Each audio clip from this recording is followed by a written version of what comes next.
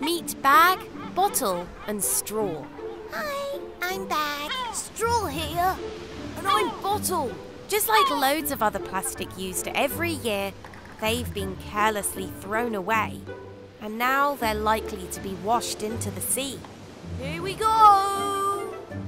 Bag, bottle, and straw could end up in the middle of the ocean or be washed up onto another beach where they would stay for hundreds of years. Or a sea animal could eat them, become sick, or even die. Hey, look. What's that?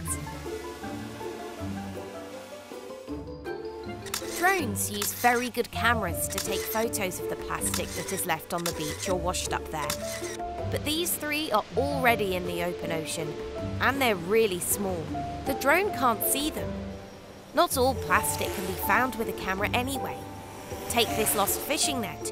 It's hard to see from above, and yet it can be a nightmare for sea animals. Planes use special instruments to look for specific types of plastic like this net. They cover a larger area than drones, and they're great for spotting build-ups of plastic further from the coast.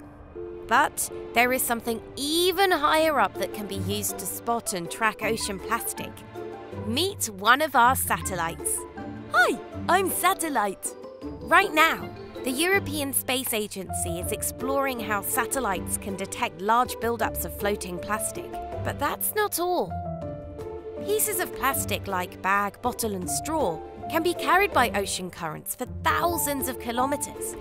In some places, currents swirl around, trapping plastic and forming large buildups. Gross, right?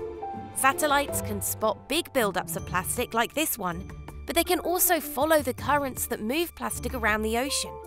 They send the information they collect down to scientists on Earth to help them understand where the plastic comes from, where it goes, and where it ends up.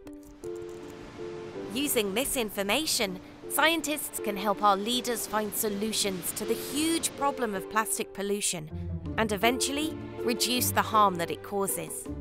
But the best way to avoid this harm is, you guessed it, if no plastic enters the ocean in the first place.